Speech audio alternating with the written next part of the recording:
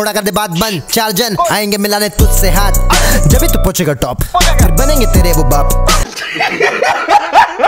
So guys welcome back to another video तो जैसे कि मैंने कुछ दिन पहले एक वीडियो के अंदर बताया था कि एमवे बंटाए अपने न्यू सॉन्ग के अंदर किंग भाई को पेलने वाले हैं। क्योंकि किंग कभी नंबर वन नंबर टू जैसी स्टेटमेंट देते हैं तो कभी वो लेबल और इंडिपेंडेंट के ऊपर रिप्लाई करते हैं। सो एमवे का न्यू सॉन्ग आ चुका है, जिसमें उन्होंने किंग भाई को डिस्क कर दिया है। सबसे पहले तो इंडिपेंडेंट वर्सेज लेबल और नंबर वन नंबर टू वाली चीज़ पे वो बोलते हैं की इंडिपेंडेंट सीन में सिर्फ़ वही नंबर वन है और उनकी जगह कोई भी छीन नहीं सकता, क्यूँकी उन्होंने अपनी पोजीशन लॉक कर दी है। टॉप पोजीशन नंबर वन बंद कर दिया मैंने number lock independent versus label ये कोई होप्स नहीं। तूने इंडिपेंडेंट क्योंकि तुझे खुद पे होप्स नहीं।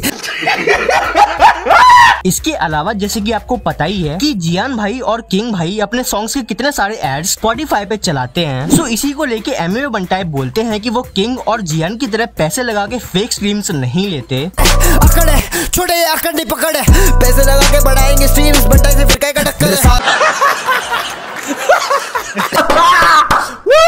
सो जो भी बात एमी ने बोली है वो एकदम सही है। बाकी आपका इस चीज़ पे क्या सोचना है मुझे कमेंट करके ज़रूर बताना। खैर बढ़ते हैं नेक्स्ट अपडेट की तरफ़। तो कुछ ही हफ्तों पहले की ये बात है जब समय रहना यूट्यूब पे लाइव आए थे और उन्होंने गिरफ़्तार वर्सेस हनी पाजी का बॉक्सिंग मैच कराने की बात की थी। सो उसी चीज़ को लेके लक्ष्य चौधरी की एक वीडियो सामने आई है जिसमें उन्होंने हनी पाजी को लेके जियान भाई और गिरफ़्तार को रोस्ट किया है। आप लोग देख लो। इन करोगे आप? बॉक्सिंग करोगे? हाँ हाँ हाँ। रफ्तार भाई वाले मैच के लिए मैं सबसे ज़्यादा एक्साइटेड लेकिन इसमें रूल थोड़ा चेंज करना पड़ेगा वन वी वन नहीं one v two Honey Singh versus Raftaar plus Badshah tag team में रफ्तार भाई इतने टाइम से म्यूज़िक तो दे नहीं रहे, लफड़ाई दे दे। और बादशाह तो चैलेंज एक्सेप्ट कर ही लेगा, क्योंकि इन सबसे रियल फॉलोअर्स आते हैं ना।